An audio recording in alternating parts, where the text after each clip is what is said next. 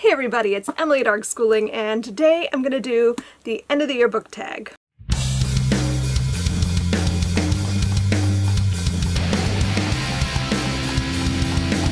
I believe this was started by Ariel Bissett.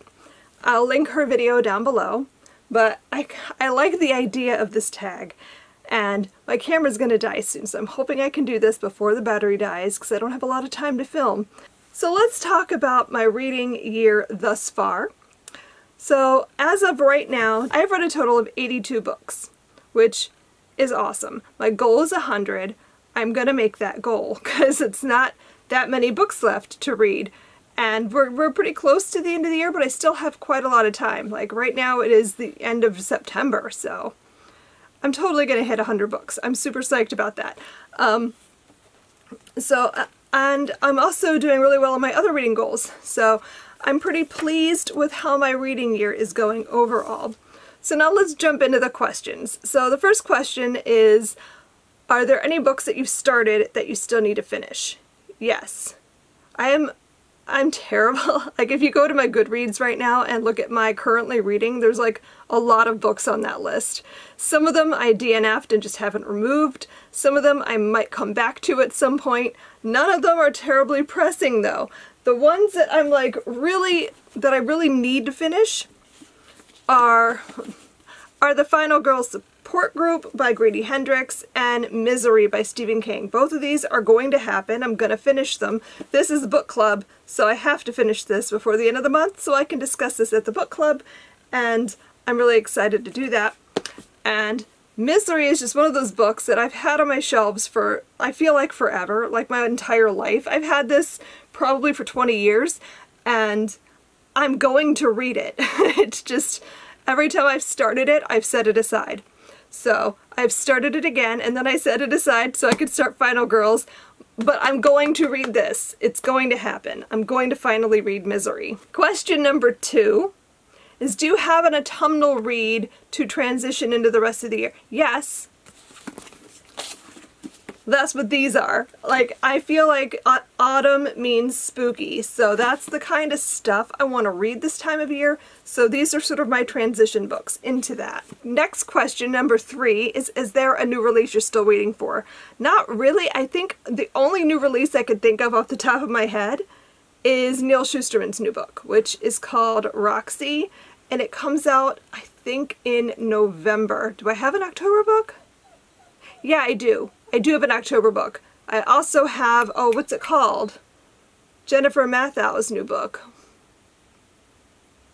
The one that's the, the gender swapped outsiders. I can't think of the name of it. I'll put it up here on the screen later. But I have that pre-ordered as well. That's like all I've got left though, I think. I don't have any other pre-orders coming the rest of this year. All my pre-orders have already come. So that's cool. But yeah, I do still have those two books that I am waiting for. Question number four is what three books do you want to read before the end of the year? Just three? Only three? I have so many books I want to read before the end of the year. But if I have to narrow it down, I suppose those three books are White Smoke by Tiffany D. Jackson, which is a high priority for me right now. The Bear and the Nightingale by Katherine Arden because I, I believe that ever since my channel has started, this has been recommended to me like at least once a year. so I'm gonna read this because everyone loves this book, the series, and I haven't read it yet, so I'm hoping to pick this up soon. This is a very wintry book, so I might save this to December, but I don't know if I'm gonna want to wait that long. And then the other book I really want to get to before the end of the year is The Hollow Girl by Hillary Monahan because I've had this for like five years and I haven't read it yet. And I really want to read it. So this is a like Roma Romani inspired vengeance story about like a girl who gets raped and then I don't even know some kind of like blood magic vengeance spell. It sounds really interesting and I don't know. I just I want to read it because it sounds really cool and I have I have this signed by the author which you can see. So those are the three books that I'm like prioritizing but I have so many things that I want to read. It's crazy. Okay, next question is is there a book you think could still shock you and become your favorite of the year? Um, Sure, of course. I mean, I've, I've got a lot of things that I've been like saving till now, so so those are books that I, I of course think could become a favorite. Like I, I absolutely think White Smoke is going to be up there. Um, this could totally blow everything out of the water and be my new favorite. Um, yeah, so I don't know. I don't know what book specifically I expect, but I have a lot of things that I want to read right now that I feel like could absolutely become a new favorite. Right now, I will tentatively say my favorite book of the year is probably When the World Was Ours by Liz Kessler, which was just fantastic. I loved that book so much and I feel like I've been like screaming at everyone to read it. so, so that's like my favorite favorite right now. But I, I think totally uh, there's lots of things on my list that could absolutely be a new favorite. And the last question is have you started making any reading plans for next year?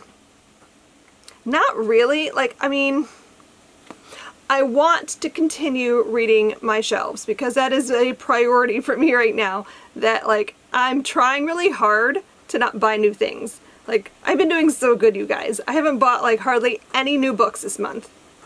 And I want to kind of stick to that throughout the rest of this year and work on reading my shelves because I have a lot of things. Um, I was just saying the other day, like some people hoard food for the apocalypse. I hoard books. I'll never run out of things to read. But I do want to try to read some of my stuff that I already own before I start buying new things again. So, so that's always my goal, is to read my shelves and work on that. I also have just recently started thinking in terms of what is the Build Your Library Reading Challenge going to be for next year.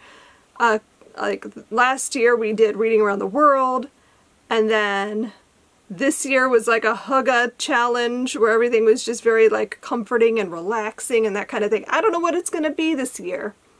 I'm kind of working out ideas in my head and I just asked Sarah for help and all she said was a book with a fish on the cover. So thanks for nothing Sarah.